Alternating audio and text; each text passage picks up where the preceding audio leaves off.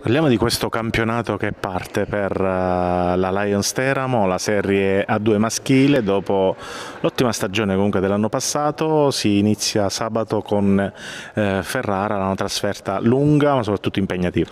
Sì, sarà una partita impegnativa sotto alcuni punti di vista, però noi andremo lì per fare bene, perché ci stiamo preparando soprattutto su questa partita per iniziare bene il campionato di quest'anno. Che tipo di stagione si prospetta? Che campionato è?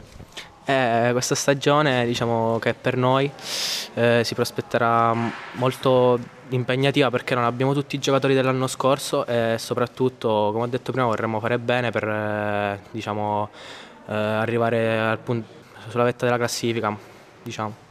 È stato costruito un gruppo giovane con eh, tanti ragazzi che hanno voglia di emergere, soprattutto vi state allenando da un po', che gruppo sta nascendo? Sta nascendo un bel gruppo perché siamo tutti uniti sotto questo punto di vista, ma con alcuni ragazzi già ci conoscevamo, invece con quelli nuovi li abbiamo accolti molto bene, quindi è un gruppo molto unito.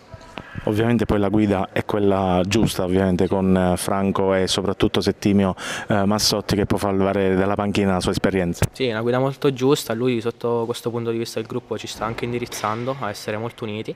Eh, con lui abbiamo imparato anche nuovi aspetti sia sotto, punto, sotto il punto di vista di gioco sia sotto dal punto di vista personale.